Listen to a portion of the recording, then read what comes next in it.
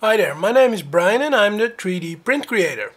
In this episode we are going to take a look at the extruder.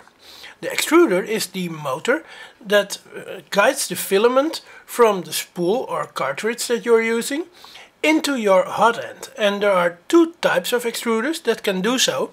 One is called the direct drive extruder and the other is called the Bowden extruder.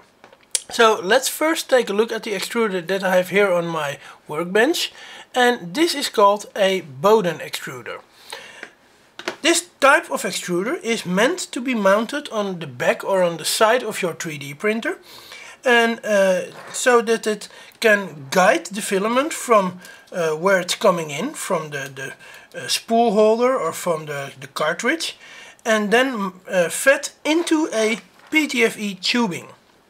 And at the end of the PTFE tubing, so like here, there will be the nozzle or the hot end uh, where the filament is extruded out of the printer.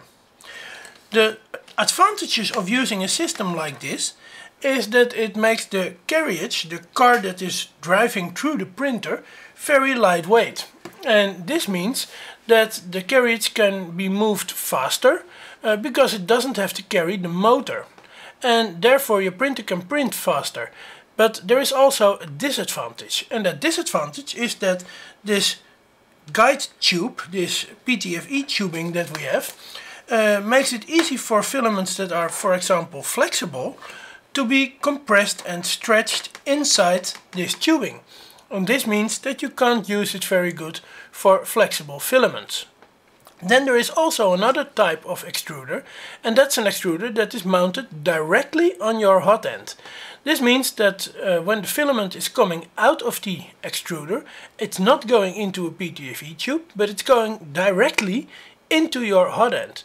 And this makes it impossible for the filament to stretch or be uh, longer and shorter while moving it and this makes it very easy to print with a flexible filament.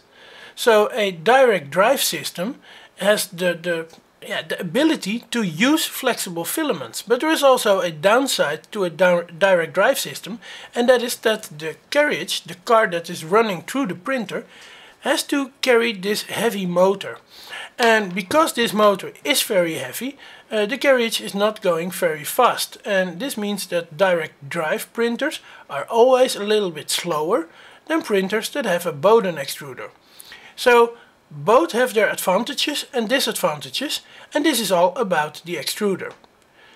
I hope you learned something from this video. If so, please give this video a like. Also uh, subscribe to my channel and use the bell button to make sure that you get notified every time I make a new video.